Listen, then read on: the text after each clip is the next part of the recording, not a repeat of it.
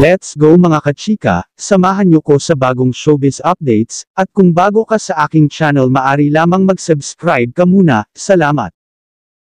Ang mag-asawang celebrity na sina Judy Ann Santos at Ryan Agoncillo ay pinaghandaan ng kanilang tatlong anak ng isang espesyal na pagkain para sa kanila sa araw ng Valentine.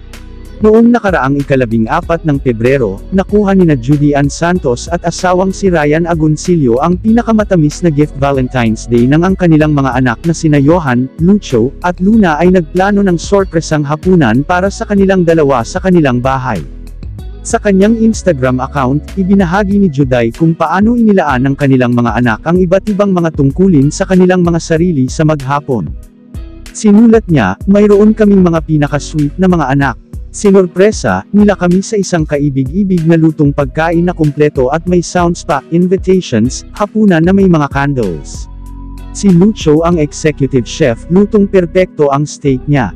Si Ate Johan ang pastry chef, gumawa siya ng peanut butter a la mode, at si Luna bilang lady guard na gumawa din ng truffle pasta, ginalangan eh.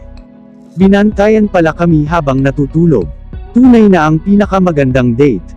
Salamat Lord. Sa pagpapala sa amin ng mga magaganda at kahanga-hangang mga anak. Nagbahagi din si Ryan ng isang post sa kanyang Instagram account na idineklarang tagumpay ang gabi sa pamamagitan ng pagsulat ng Best Valentine's Ever. Sa ROR restaurant ng Romance the Chef, Pastry Chef at Lady Guard. Kinasal, si Ryan kay Juday noong 2009 at opisyal ding pinagtibay ang kanilang panganay na anak na si Johan ilang sandali lamang pagkatapos.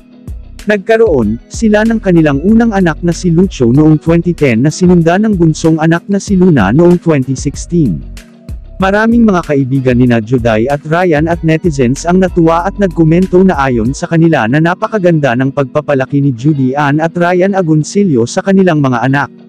Isa ka bang showbiz fan na laging naghahanap ng bagong chika, maari lamang mag-subscribe dahil ang channel na ito ay nag-upload ng dalawa hanggang tatlong beses sa isang araw, maraming salamat. I could stay like this forever following you.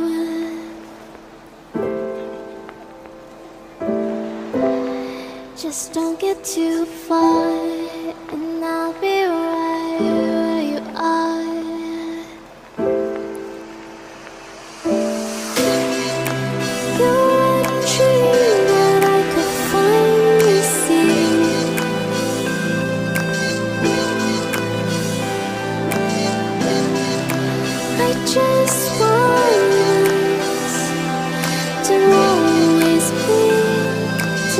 Ano mga kachika, kita-kits tayong muli sa mga susunod ko pang mga showbiz updates, please like, share and subscribe. Pakihit na rin ang notification bell para ma-notify ka sa mga susunod ko pang upload, again maraming salamat.